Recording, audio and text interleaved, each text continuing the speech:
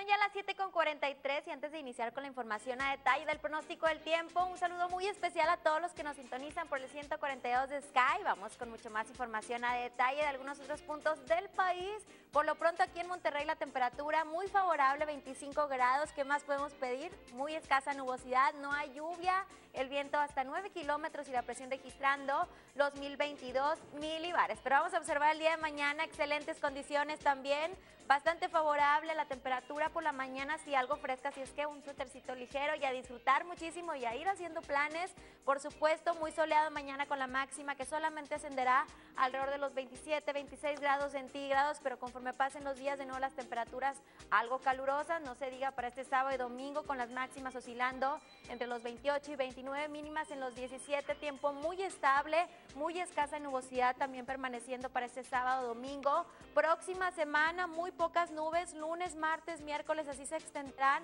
las condiciones de cielo con ausencia de precipitaciones, las temperaturas iniciándolo con mucho calor la próxima semana, máxima en los 28, martes, miércoles, alrededor de los 29 y 30, suben un poco más las temperaturas para el martes y miércoles, pero de nuevo descienden ligeramente las temperaturas máximas entre los 27 y 26 puedan estar oscilando jueves y viernes con muy pocas nubes y las mínimas en los 16 y 15 grados centígrados. Pero vamos a observar un poco la imagen de satélite, todavía el frente frío número 5, aunque es débil, esté generando algo de descenso en la temperatura por la mañana, por la noche, principalmente en la región noreste, además del norte del país. Continúa la línea de inestabilidad también permaneciendo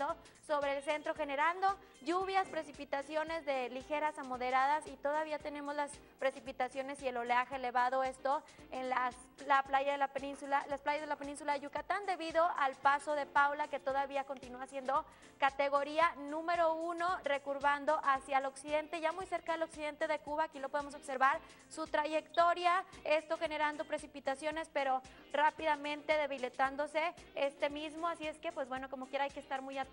y alertas, ya que pues bueno, como quiera las, las precipitaciones continúan fuertes sobre las, la costa de la península de Yucatán. Hay que cuidarnos mucho por lo pronto. El día de mañana no hay lluvia en las playas del Pacífico, sí, el cielo con muy escasa nubosidad, máxima en Guadalajara hasta los 26, Acapulco hasta los 31, en Saltillo permanece el cielo bastante despejado, pero la temperatura por la mañana muy fría en los 10, 9 grados, pero ascendiendo rápidamente el termómetro, el termómetro de manera bastante favorable hasta los 24 grados centígrados, Chihuahua 26, Tijuana hasta los 23, en Dallas, por allá en Texas las temperaturas se tornan un poquito más calurosas, no sube tampoco tanto el termómetro, McAllen ya hasta los 31, Dallas 29 y las condiciones de cielo bastante favorables, todo lo contrario para Veracruz, mañana incremento en la nubosidad con algunas tormentas posibles por allá, con 29 como máxima, Cancún también desciende la temperatura máxima solamente alcanzando los 29, también con posibilidad de precipitación, así es que pues muy atentos, por lo pronto la puesta del día de mañana